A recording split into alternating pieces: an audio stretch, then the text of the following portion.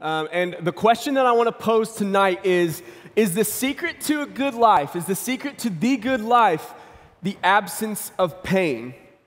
Is the secret to the good life the absence of pain? I think as Americans and people, we spend a lot of time trying to get rid of any amount of what we see as not good in our lives, right? Like, who in here loves the Chick fil A mobile order? Like, do you just, you do it before you get there?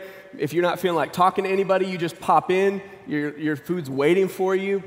It's a beautiful thing. And I think a lot of times we spend a lot of time trying to minimize that. And I think we, we equate that to our spiritual lives as well. And I think we can, we can point to a number of things. If it, if it weren't for this in my life, I'd have a good life. Like if, it were, if this was gone, things would be better for me. And that could be any number of things. I mean, there's, there's 200 people in this room that could probably say something different for each one of you. That you probably got something that you'd say, man, if it weren't for my family, it would be such a good life. If it weren't for this group of friends that I got with, it would be a good life. If it weren't for fill in the blank, it would be the good life. And that's probably true across this room. There's probably some things that you've done that you'd say, if I could have just gotten rid of this, it would be a good life. If I could not have regret, if I could not have the shame, if I could not have the consequence of that bad decision in seventh grade and ninth grade, in my senior year of high school, in my freshman year of college, if I could have just not had that relationship, then I would be in a better place in life. If it weren't for this relational tension and confusion and strain, it would be a better life. If it weren't for rejection, if it weren't for sickness, maybe you've got an illness, maybe you've got something that plagues you that you'd say, if this was just gone from my life, things would be good. Maybe you have been so impacted by the death of a loved one that you would say, I, I just, I don't know how to move on from this milestone moment in my heart and in my life. I don't know what to do. If it weren't for that, I would have a good life. If it weren't for my money problems, whether it's having too much or having too little, if it weren't for my addiction, if it weren't for my trauma, if it weren't for what that person did to me, if it weren't for the regret of what I did to someone, it would be the good life. Is the good life the absence of pain and difficulty. Well, we're going to look tonight at uh, Paul and something that he said in 2 Corinthians 12. And we're also going to look at James 1. If you have your Bibles, you can, you can get there. And I want to ask this question as I was talking to someone about this message. They said, really, it comes down to this why does God let bad things happen to good people? And they said, that, that question racked my mind for so long. God, why do you allow pain? In moments of pain for myself, I've sat there and said, God, God, why would you ever let this happen? This person's serving you. This person's good. This person's not done any of the, the big three bad things. Like, they're, they're good. Why are you letting something bad happen to a good person? God, why is there pain? And the first thing that I want to point out tonight is that pain points to a problem. Pain points to a problem. Um, when I first moved to Springfield, I would make these drives back from St. Louis all the way to uh, Springfield. This is a three hour drive, it's not too bad. But it was just enough time to make the engine on my 93 Oldsmobile Cutlass Ciera really heat up. Uh, and one day in, I'm trying to think what year it was, it may have been 2012, the, the transmission on that thing blew in Sullivan, and I spent a couple hours at the Sullivan Walmart waiting for uh, someone to come pick me up from St. Louis. But before I knew that that was going to happen, that car started to have a couple problems. And when it started to have some problems, I, I know a couple things about cars, but I don't know a lot of things. And there was one really, really cold day that I got to my destination. I got to the house that I was staying at in Springfield, and the car was just like acting up. Like, you ever just have a, a thing where you're like, the car's doing something different, it's shaking, it's riding different, and you're like, I don't know what's happening, but I believe in God in this moment and I'm gonna pray for this vehicle because I don't know what else to do. And Lord, it's in your hands. I believe in you more this moment than I ever have. And that was one of those moments. And I get out of the car and I pop the hood and I'm like looking around and it's super cold. It's one of those days like what we had a couple weeks ago where it's like single digit cold. I mean, it is cold. And, and I pop up and I'm like, I don't know what I'm looking at. I don't know what could be wrong. And eventually I lean into kind of the, the engine compartment and I lean down and I smelled something awful. Not like a car smell. And I was like, what in the world? And as I'm leaning down, I start to eventually feel something. And I, w- what had happened was, I, the, the, the car was so hot, my radiator was so hot, but my hand was so cold, I put my hand down on that hot radiator, and because my hand was cold, I didn't feel it for a minute. And I set it down, and what I smelled wasn't my car, it was my hand burning. Yeah. And then I started to smell it, and then I started to feel it eventually. And it was just, I mean, it took all the skin off of this hand right here for a couple of weeks. I mean, it was, I probably should have gone to the doctor, did not. We'll get to that later. Um, but it pointed to a problem. The problem was that the thing was too hot, my hand was on it. Pain, right? Pain points to a problem. Pain points to a problem. And before we get started, I want to outline kind of two types of problems that we have, and I think they can interplay together. But I think with young adults, I think we see that there are two types of problems that are really prevalent. And one of them is what we see in James it's a trial, it's a test. It, it doesn't have anything to do with, hey, you did something wrong, so you get this consequence. It's a trial. It's what we see in Job. If you read the story of Job, if you've never read it before, I challenge you to do it because it's this story where, it, like, I can't believe it's in the Bible, but Satan comes into God's presence. I don't know what that looks like, but Satan comes into God's presence and God just starts bragging on this dude, Job. And he's like, My guy, Job, is awesome. He's it. He loves me more than, he's so great. And Satan goes, No, that dude just loves you because you gave him a bunch of stuff. He's really rich. He has a lot of kids. He has a, you blessed him in so many ways. Take some of those blessings away and see if he still says he loves you. And what you see in Job is that he gets these things taken away and, and he says these incredible things like, man, should I not take good from the Lord, but also bad? And he has these three friends that come and sit with him, and they try to figure out and postulate and say, hey, what could possibly be wrong that this bad is happening to you when you've served the Lord your whole life, good things have happened, and now bad has happened? Why? Surely you've done something wrong to get this consequence. And that's not the take. That's not what actually happens. You see the same thing in the life of David. David was serving God. David had been anointed to be the king, but he wasn't in the throne yet. And he was honoring the man who was in the throne named Saul. And Saul had a lot of problems, but he had an anger problem towards David. And he tried to kill him on several occasions, ran away, went from having a wife and good things happening to him to being stuck in a cave. And the king of his country wanted to kill him. Not because he did anything wrong necessarily, but because that's just life. That stuff happens. But the second thing that we see is the consequence of sin. You have a test and a trial, and then you have a consequence of sin. And, and, listen, this can be any number of things. Even in the story of David, you see how, like, David's life is impacted by Saul's sin. It wasn't necessarily something that David had done that ended up, but what we know about that and what we see that's true all over the Bible is that sin has a ripple effect. Sin has an effect that, man, it may not be just I sinned against you and that's all. It, no, it impacts people in generations and friend groups and cultures and all kinds of people in situations. This sin has a ripple effect. You see it all over the Bible. I mean, the, the first one that you see when Adam and Eve sin, the first ripple that comes out is that they are separated from God. They walked and talked with God in the garden, and it was a beautiful thing, what God intended, but they were moved away. And then God said, Hey, listen, you, you have this design where you are meant to work, you are meant to live, you are meant to, and that's going to be difficult now. He literally tells Adam, Hey, work is going to kill you.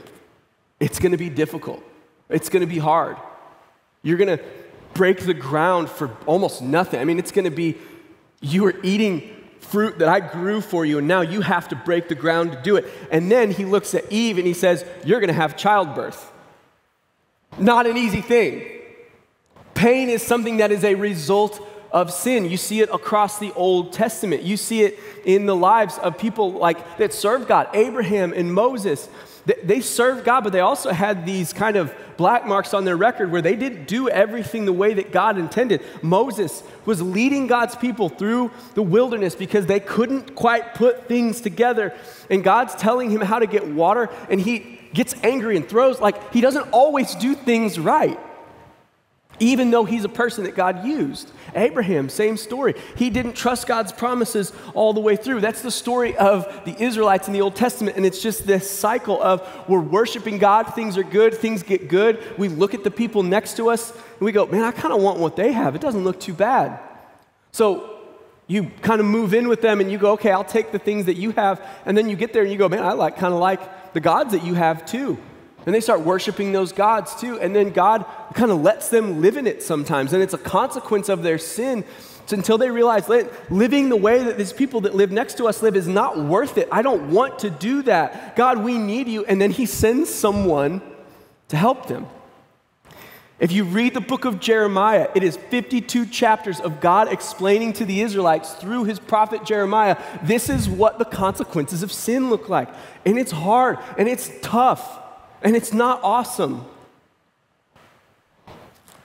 But pain points to a problem.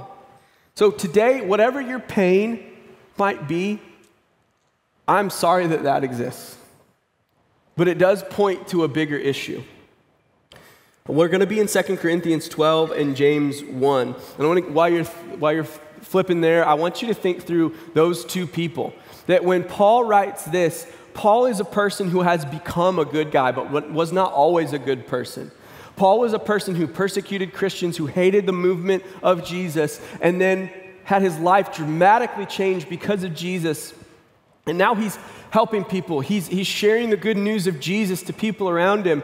And what we read here is that God still allows pain in his life for a long, extended period of time.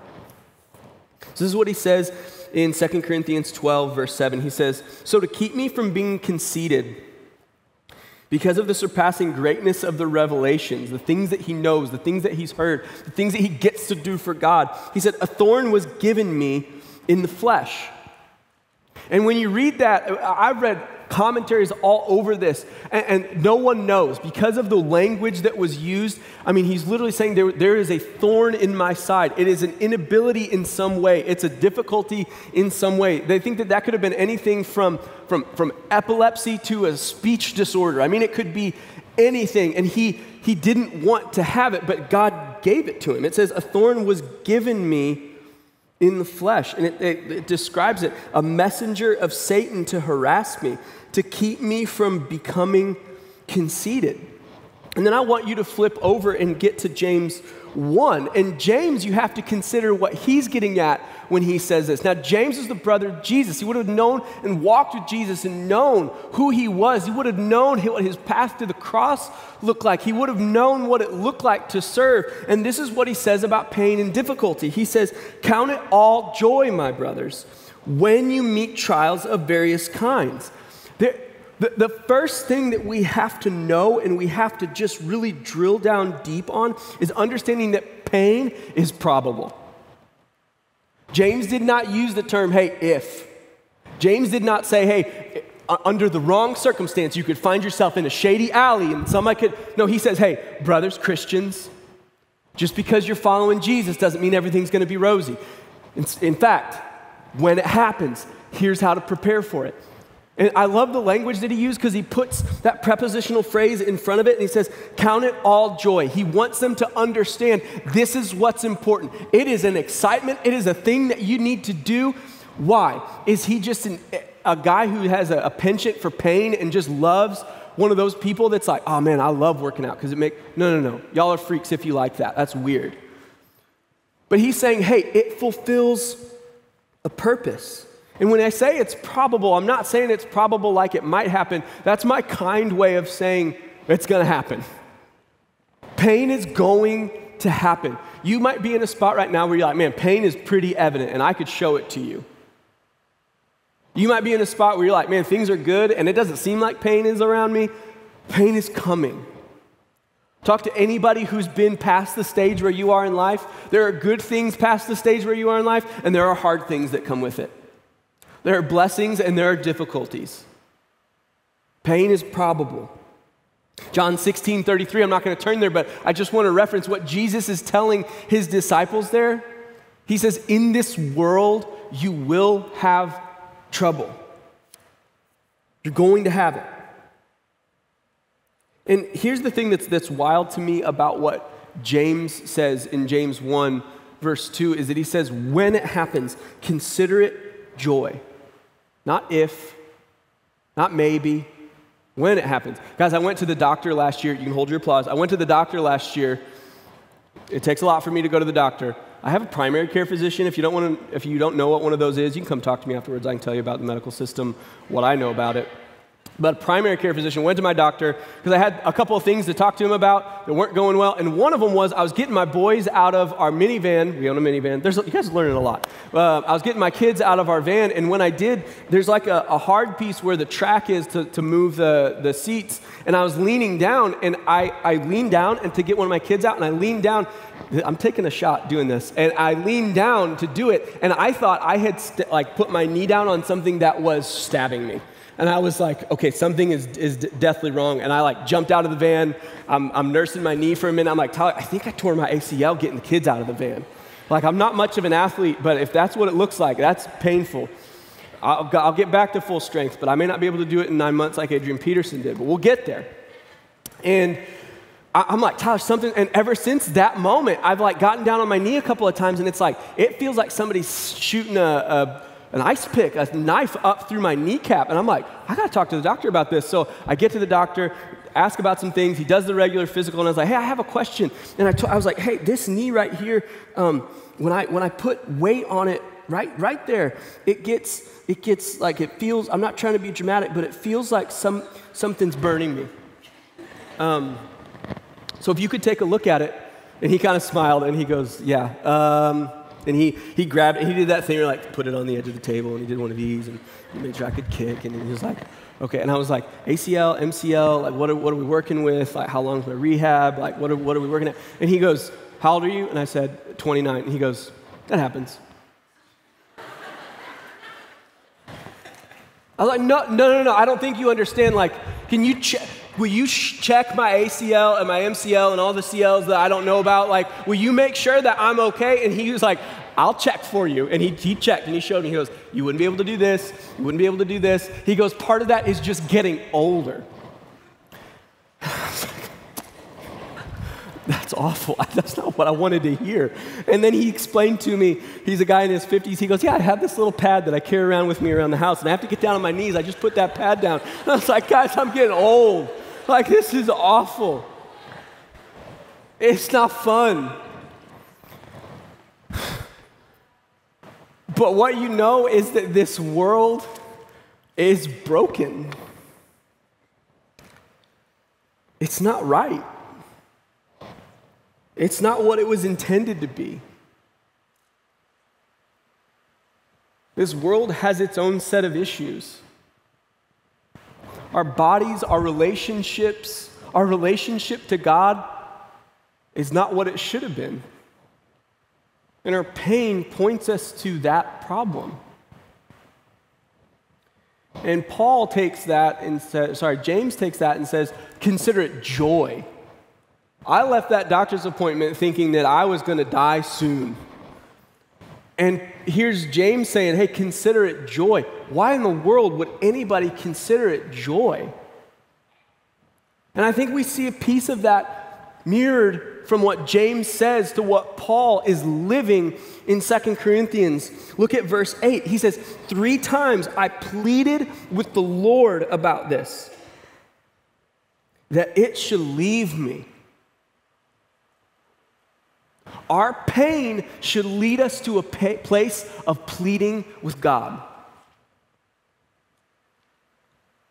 Your pain is going to make you wonder. Your pain is going to make you go, why is that happening? When I put my hand down on the radiator of my car, it made me say, why did I do that? What's happening? Why would anybody make a part in a car that could get that hot? Why does my knee hurt the way that it does? Pain leads us to a place of pleading.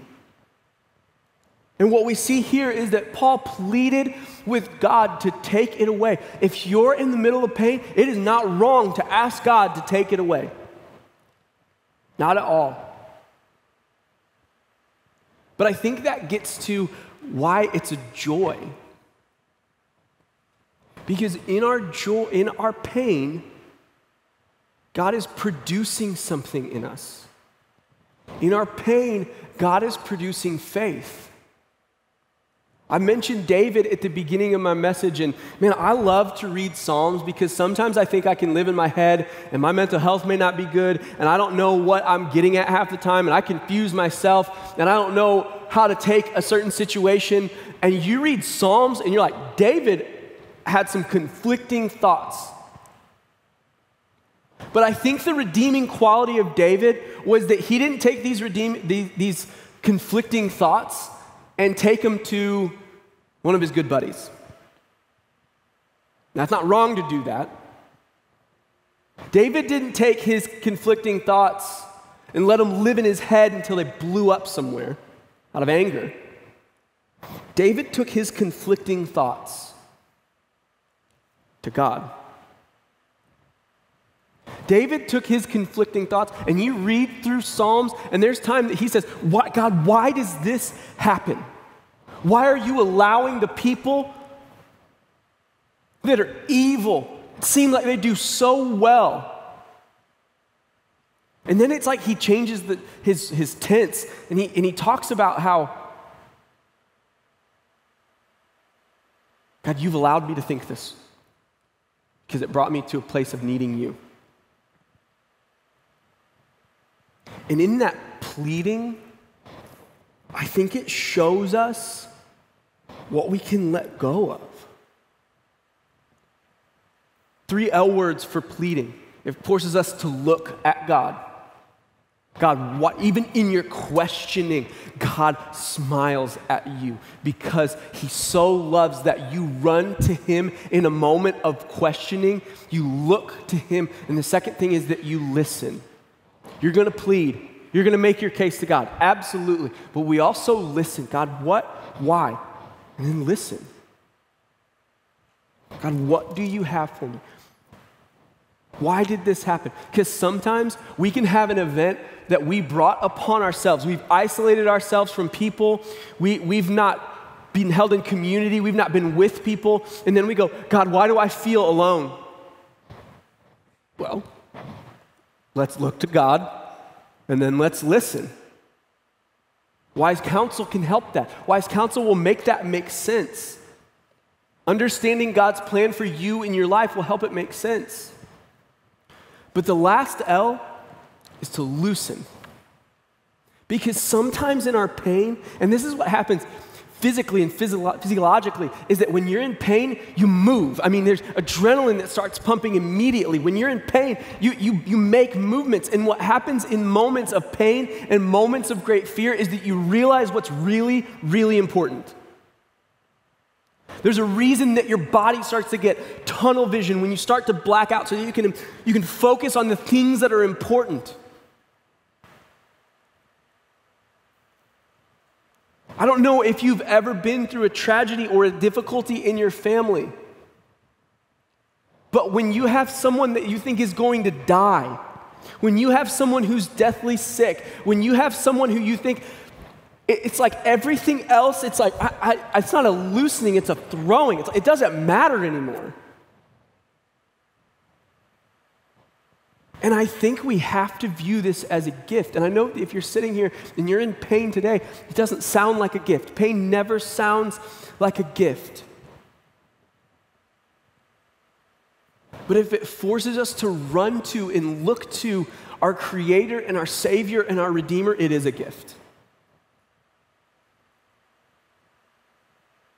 I was listening to Ben Stuart talk about this, and he says that most of your heroes are most likely people that have been through great pain.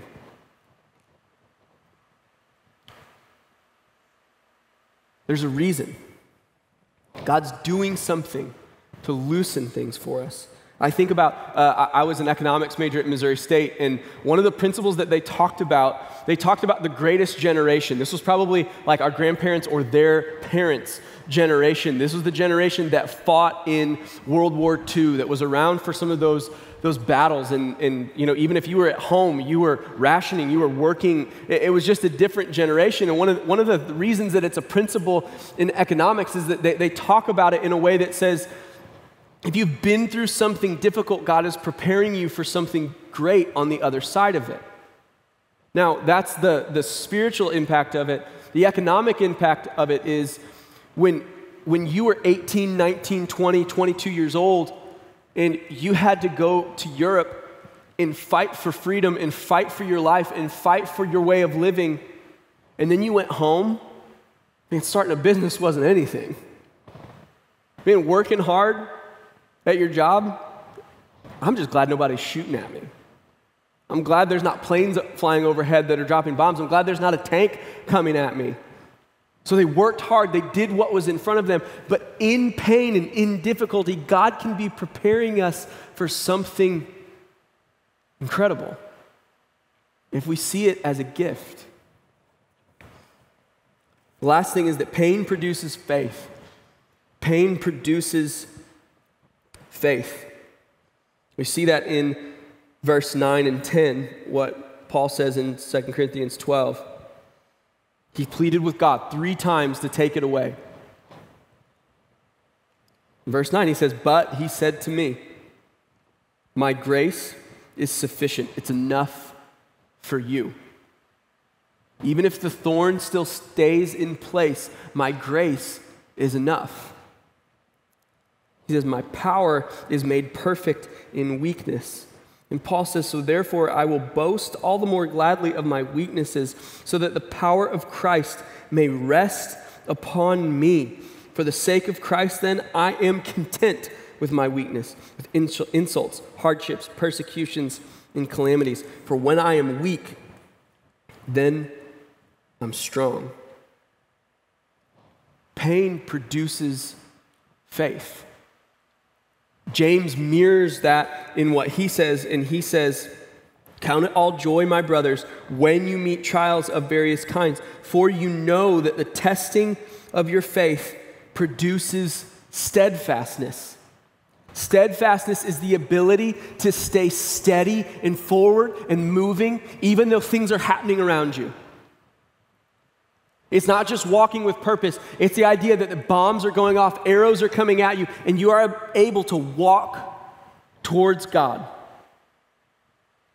That in Him growing your faith, it grows your steadfastness. To me, I look at people that are in their 40s and 50s and 60s and 70s and 80s, people that have been through incredibly hard things, that have had difficult family things happen, difficult financial things happen. I said, How do you do it? In the moment, you don't know what it is. But it's an opportunity to look and listen and loosen your grip and become steadfast. And it puts everything else in perspective. That next verse in, in James says a lot, and it says, And let steadfastness have its full effect, that you may be perfect and complete, lacking in nothing. That last picture, perfect and complete, lacking in nothing. Our, our goal as believers is to, to show the world a clear representation, a clear picture of who God is. But there's a, a word before steadfastness that's really important. He says, and let steadfastness have its full effect. Because here's the reality some of us in this room right now are going through something difficult and are going through something hard, but we are not letting steadfastness come to its full effect. What does that look like? That looks like I'm angry that I'm hurt, and I'm just going to complain about it. God, how could you? And then shut down the conversation with God. God, I would never do that if I was God. And we get cynical and we get bitter and we don't let this steadfastness grow in us. We don't let faith grow because of our pain. We shut it down, we nip it, and we stop it, and we say, No, I don't want pain to grow me. I don't, I don't care about any of that. I want the easiest life that I can possibly have. And I talked earlier about people that, man, you're, you're working out and you love it, that that's a freak there's also people that work out because they know that it's going to help them. And this is the picture that Paul gives us. This is the picture that James gives us. It's this breaking down of your muscle so that you can do more later. It's this doing something difficult so that you can do something greater later. We have to do this with our kids all the time. I had to sit down with my five year old son and start teaching him how to read. Boy, didn't know what a letter was. And he's sitting there and he gets frustrated. He doesn't want to do it. And why would, but now he can read words and it's going through the difficulty so that you can have the greater thing happen later. And I think some of us ended up with a, a stunted Christian life because we hate the pain that God allows into our lives, the pain that God gives us into our lives, instead of what Paul says, where he says, I'm going to boast in my weakness. Because in Paul's economy, it's not Paul that figured it out. It's not Paul that said, Man, I went from somebody who was persecuting Christians to somebody who's really good for them now. He said, It's Jesus. I got in the way. So he says, I'm going to boast in my weakness. I'm going to boast in my abilities. I'm going to boast. I'm going to say, hey, this is what I bring to the table, and God is good in spite of it. How good is that? That he's worth following.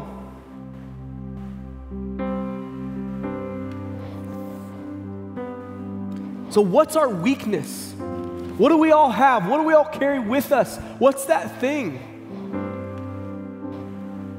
When you read through Romans, you can't help but see it. That all have sinned and fallen short of the glory of God. God's standard is perfection, God's standard is perfect. And we fall short of that. So when we bring anything, it could be something that we think is great, it's just not the standard of God. It's the analogy of saying, like, man, I'm pretty decent at basketball. I think I could take most of the people in this room. And then LeBron James enters. It's like, okay, uh, let me rephrase it. I could take some of the people in this room. God's standard is so much higher and greater than we could ever imagine. So when we ask the question, why does God let bad things happen to good people? There are not good people. I think about myself and I go, I'm not I'm not good. I know the things that I think, I know the things that I would love to do, but God is so good to me. In spite of the evil and the bad that I bring to the table, He says, I will still love you. I will still redeem you. I will still save you. Will you let me sit in the throne of your heart? And then I want to go, okay, God, if you could shove off just a little bit so I could have some. No, He's the ultimate good, He's the ultimate authority. Does God have that seat in your heart and in your life? Is that the way that you view pain? What's your approach to pain? What does it look like? Um, I was with a family member uh, that's a cattle farmer in southeast Missouri, and uh, he was telling us about he had for about two years he had this this sickness, and he didn't know what it was. He thought it was Lyme disease. He thought it was some different things and he would just get really weak and really tired. And he was going through some stuff with his parents that were still there working on the farm with him. It's very physical, manual labor. And he was going, I couldn't just not work the farm because of this sickness. So I, I just powered through it, did what I could. But he said it got to a certain point where I just couldn't do it anymore. And he said, I had to go to the doctor. Might be a family trait. We'll figure it out. But he said, I had to go to the doctor, and they started to figure out some of the things that were wrong and started to, to help him. But I remember we sat there and he said, Man, I just, I had to stop and remember all this has got an answer. And he said, That same morning I went to the doctor, I was, I was reading my, my regular Bible in the morning. And he said, I read Revelation 21, second to last chapter in the Bible. And he said, Those first seven verses gave me peace, even though I still had pain. That pain is not completely gone for him. And then he quoted this. This is what he said. He said, This is the end of the book.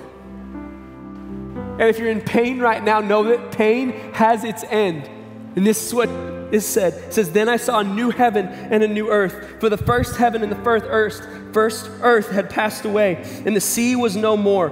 And I saw a holy city, New Jerusalem, coming out of heaven from God prepared as a bride adorned for her husband. And I heard a loud voice from the throne saying, Behold, the dwelling place of God is with man. Did you know that? Did you know that the dwelling place of God who created you, who loves you deeper than any person could ever fathom, his place is with you? He will dwell with him, and they will be his people, and God himself will be with them as their God. And he will wipe away every tear from their eyes, and death shall be no more. Neither shall there be mourning, nor crying, nor pain anymore, for the former things have passed away. And he who was seated on the throne said, Behold, I am making all things new.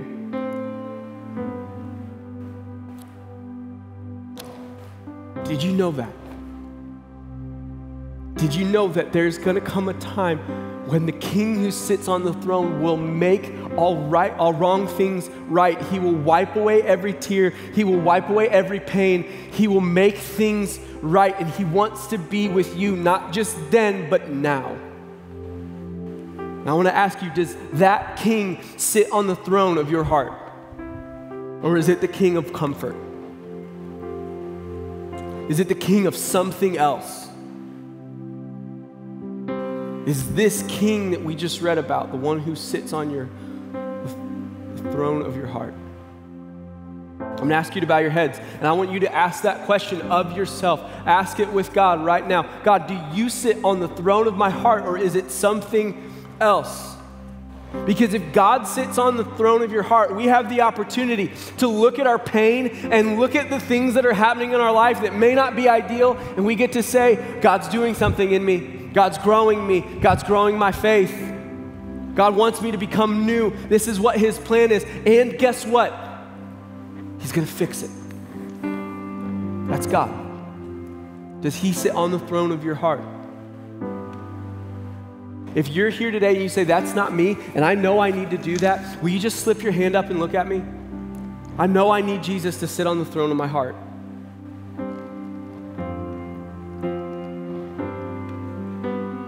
It's simple. How to give God that throne. You, you have to admit, God, I've been sitting in my own throne.